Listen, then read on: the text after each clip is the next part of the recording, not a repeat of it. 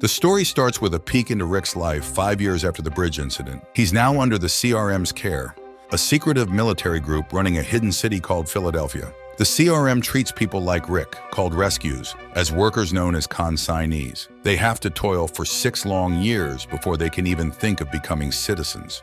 In this new world, Rick befriends Pearl Thorne, a former South African Navy commander who's just as unhappy as him. They both despise the CRM's rules and restrictions. Rick's main goal? To reach Michonne, his love. He tries to escape four times, even resorting to cutting off his own hand in one attempt. But Lieutenant Okafor, a CRM officer, has other plans. He sees potential in Rick and wants him to join the army. Okafor believes this will give Rick a sense of purpose. Despite Rick's reluctance, he eventually agrees, partly to get Okafor off his back and partly to devise a new escape plan. During their military training, Rick and Thorne bond. Rick can't help but daydream about a normal life with Michonne. Meanwhile, Okafor, while working on his millet farm, shares his secret plan with Rick and Thorne. He wants them to change the CRM from within, making it more humane for people like them. Rick and Thorne have a heart-to-heart -heart conversation, with Thorne calling out Rick for his situation. It is revealed that she's in the same boat as him, separated from her loved one, and she doesn't sugarcoat the harsh reality they face. Despite this, she offers her help if Rick just asks for it. Meanwhile, the CRM forms alliances with Portland and Omaha. Rick notices missiles being sent out but never returning. And when Okafor returns covered in blood, Rick senses something's not right.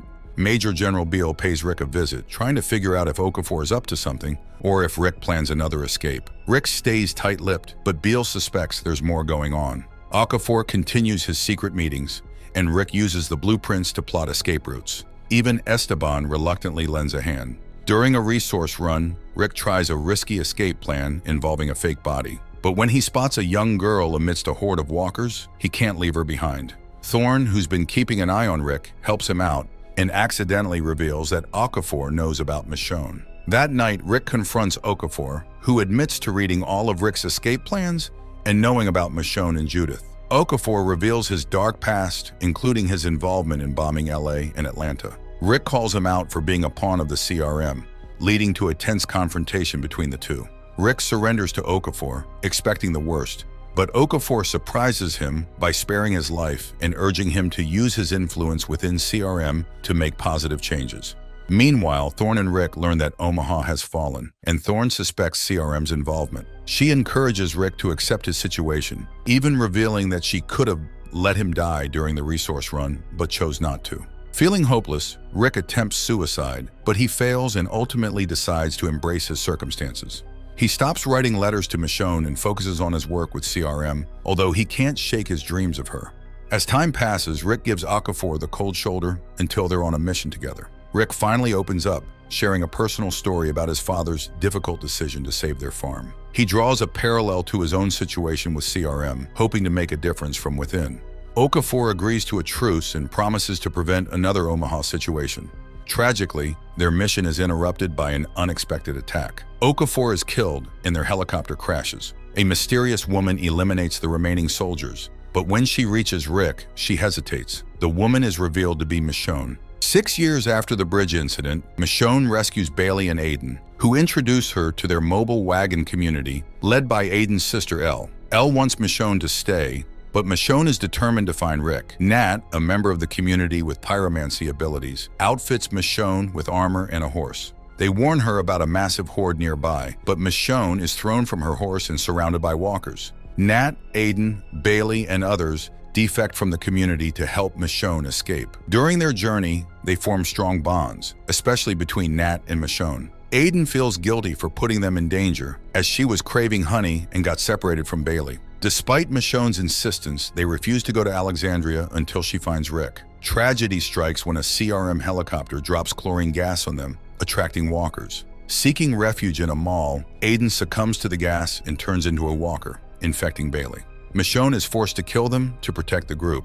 After recovering from their ordeal, Nat and Michonne continue to the bridge, only to find it littered with burnt bodies. Michonne fears the worst, but Nat urges her to believe that Rick is alive and advises her to return to her family. However, on their way back, they spot a CRM helicopter and decide to take revenge. Nat launches missiles at the helicopter, causing it to crash. While Nat covers for her, Michonne takes down the soldiers and finally reunites with Rick in tears. Their joy is short-lived, as a dying soldier fatally wounds Nat before Michonne can celebrate her reunion. With reinforcements on the way, Rick instructs Michonne to conceal her identity and act submissive. However, Michonne is just happy to be with Rick again. CRM captures Michonne, who adopts the alias Donna and shares Aiden's story as her own. She secretly meets with Rick, who promises to escape with her. Saddened by Rick's missing hand, Michonne is determined to make CRM pay, but Rick warns her that escape is their only option.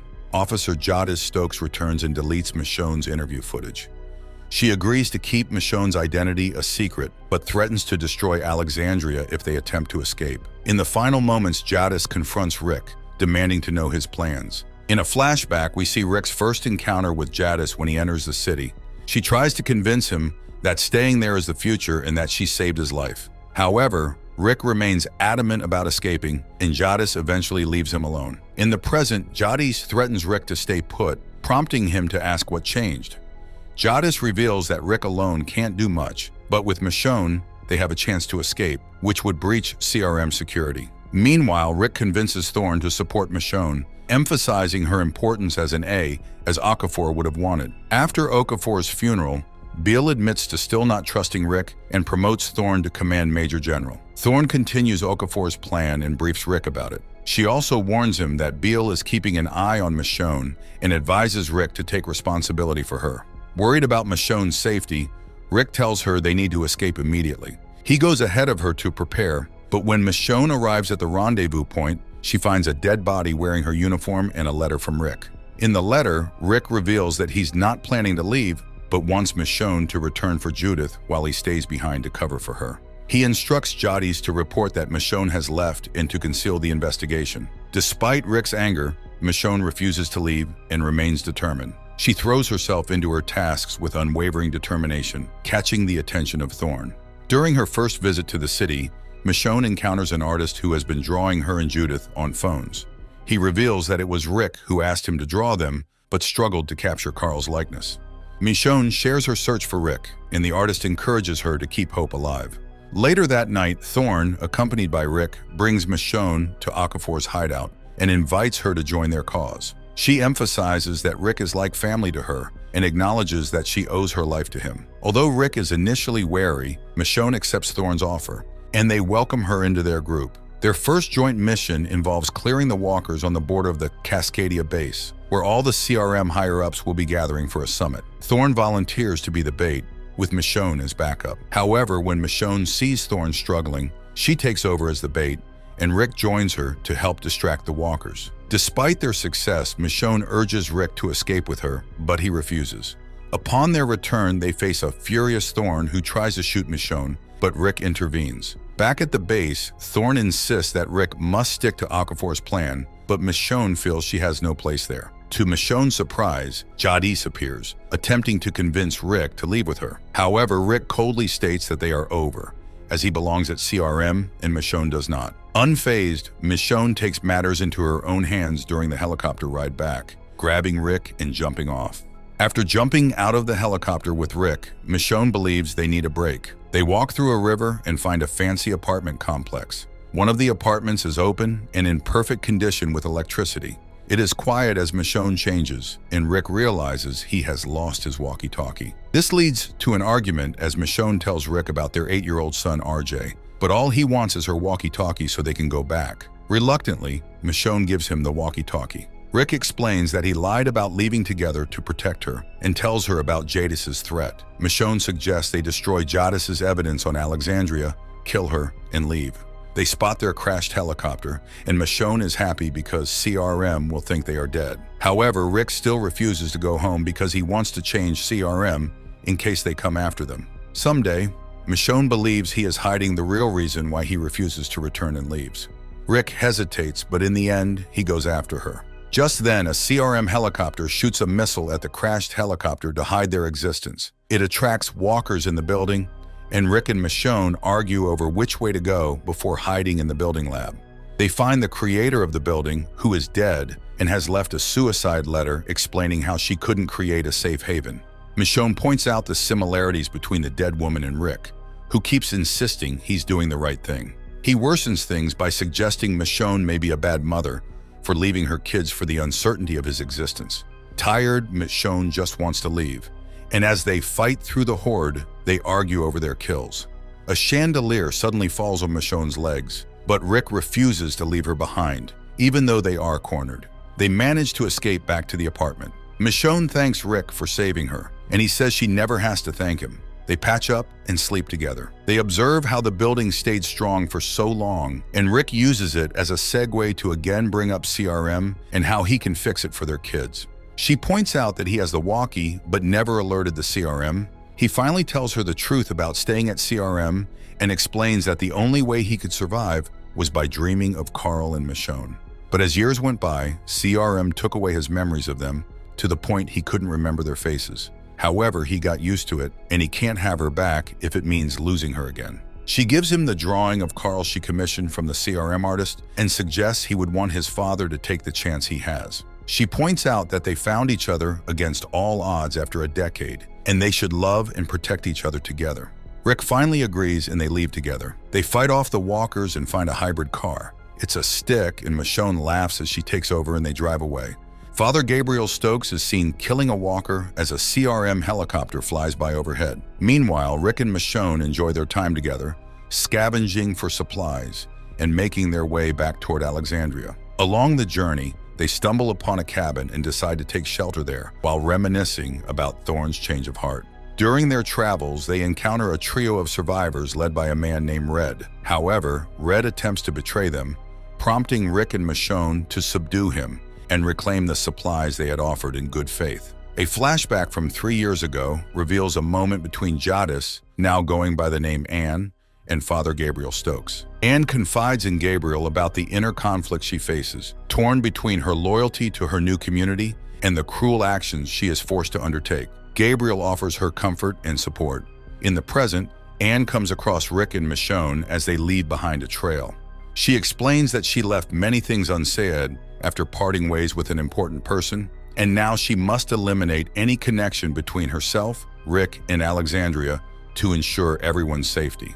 Despite her intentions to kill them, Rick and Michonne fight back, resulting in Anne getting wounded. However, Rick prevents Michonne from delivering the final blow, showing mercy toward their former adversary. A flashback from two years ago reveals that Jadis agrees to meet with Gabriel once a year. During one of their meetings, she asks about Rick's wife, and Gabriel shows her the ring that was intended for Michonne. Jadis expresses gratitude for their conversations, admitting that she feels more like herself when she's with Gabriel compared to the cruel things she must do at CRM. Gabriel suggests that she help Alexandria, but Jadis feels helpless as her hands are tied.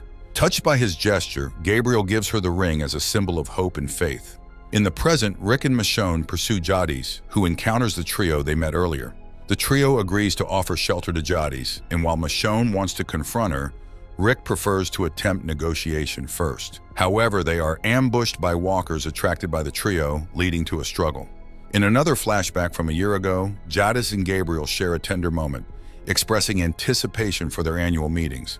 Despite their growing bond, Jadis becomes increasingly conflicted as she feels compelled to carry out more drastic actions each year. Gabriel tries to persuade her to come to Alexandria with him, but when she refuses, he accuses CRM of being selfish for hoarding resources. Their disagreement escalates when a walker appears, and Jadis points a gun at Gabriel, viewing him as a potential threat to CRM's secrecy. In the present, Jadis discloses that Beale is prepared to give Rick the echelon briefing, offering him a chance to save humanity. She urges him to make a decision, and they strike a deal to allow Michonne to return home alone. However, both sides betray each other, leading to chaos, and Jadis gets bitten in the process. In the flashback, Gabriel challenges Jadis, but she effortlessly dispatches the walker, prompting Gabriel to believe that she still retains her humanity despite her actions. In the present, Jadis, now dying, expresses her loyalty to CRM weary of losing more people and believing in CRM's resilience. She reveals that the dossier on Alexandria is located at Cascadia Base and implores Rick and Michonne to take it and leave. However, Michonne vows to seek justice against CRM for their atrocities, and Jadis accepts her fate. She passes Gabriel's ring to Rick, expressing regret for not being able to pursue her artistic aspirations before the apocalypse. With a heavy heart, Rick fulfills her wish and puts her down. As Rick and Michonne depart, Rick proposes to Michonne, and she accepts. Meanwhile, Gabriel mourns Jadis, constructing a grave for her as a CRM helicopter flies overhead. Rick and Michonne devise a plan. Rick will obtain the briefing while Michonne retrieves the dossier. Their goal is to inform the city about CRM's bombings and then make their escape. They agree to use the walkie-talkie to communicate if anything changes. Amidst their planning, they question their sanity due to the extreme measures they've taken to protect their loved ones. When Rick returns, he falsely reports that Michonne has perished. Thorne welcomes him back, but she experiences a change of heart. She realizes that Okafor's death resulted from his lack of faith in CRM, leading her to abandon her desire for change. Rick pretends to go along with her decision. Meanwhile, Michonne sneaks into Jadis's room, discovering Gabriel's drawings scattered about. She locates the dossier but is caught by a CRM officer. In self-defense, Michonne is forced to eliminate the officer. Beale is impressed by Rick and shares his own survival stories. He reveals that Philadelphia and Pittsburgh were engaged in a civil war when a massive horde of walkers approached. Beale evacuated Philadelphia in secret, allowing the horde to overrun Pittsburgh before bombing it. He proceeds to deliver the Echelon briefing, explaining CRM's research findings. According to their data, humanity has only 14 years left due to the increasing walker population, food shortages, and the potential spread of diseases from the dead. To improve their chances of survival, CRM destroys communities to obtain resources, maintain secrecy, and gain strategic advantages. CRM has spies, known as embeds, placed worldwide to monitor and influence existing communities, and some survivors have been subjected to experiments. Beale admits that this is why they destroyed Omaha, with Portland being their next target. Once they control Portland, CRM plans to declare martial law, eliminate the city council, and continue eliminating any potential competition. Meanwhile, as Michonne attempts to leave, she overhears a meeting discussing the child evacuation protocol. CRM intends to evacuate a select 10% of Portland's children, avoiding those who may stand out or be different. After the children are removed, CRM will destroy the city. Horrified by this revelation, Michonne alerts Rick by keying the walkie-talkie, though Rick deceives Beale by claiming it's a call from Thorne. Beale sees Rick as a potential leader for CRM because he willingly returned despite being free. Rick's story offers hope to those who may resist CRM's control. Beale offers a deal. Rick's family will be spared and brought to the city, even if they are classified as Type A's. He asks Rick to swear on a sword, but Rick surprises him by attacking and stabbing Beale with the sword, declaring that he will save the world. Rick hides Beale's body in a container and takes an elevator. A guard joins him, but Rick notices the blood and realizes the guard's intentions. They fight, and Rick kills the guard by smashing his head. Back on the ground, Michonne urges Rick to stop CRM themselves. Rick contacts Thorne via walkie-talkie, claiming that Beale is killing walkers. However, when Thorne investigates, she doesn't find Beale. Instead, she discovers Rick's prosthetic arm in Beale's room realizing that Rick is backing out of their plan. She recalls Rick's persistent claims about his wife being alive and his efforts to help Dana, connecting the dots about their true identities. Michonne creates a bomb using grenades she learned about from Nat. Rick expresses his desire to leave, regretting the time he missed with his kids. But Michonne reminds him that their mission is to save lives. They plant the bombs in the tent, filled with poisonous gas, and attach a wire to Beale and the lift guard, who have turned into walkers. Thorne discovers them, but they hide under a water tanker as the bomb goes off. Most of the Echelon guards are killed, and the remaining ones become walkers. Rick finds himself surrounded while Michonne confronts Thorne, who is wearing a gas mask. Thorne argues that love is meaningless in a dead world, but Michonne disagrees and stabs her. Rick sets off a grenade, shocking Michonne, but he uses a walker as a shield and survives.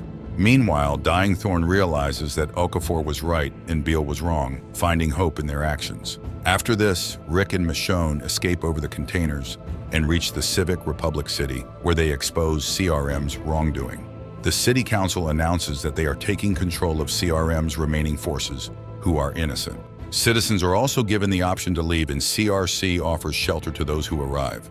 Then Rick and Michonne are provided with a helicopter to return to Alexandria. Meanwhile, RJ and Judith run to hug Michonne while Rick watches from a distance. Judith expresses her hope that Rick was alive, and RJ asks if he's the brave man. Rick tears up as he fixes RJ's sheriff hat and tells him he can call him dad.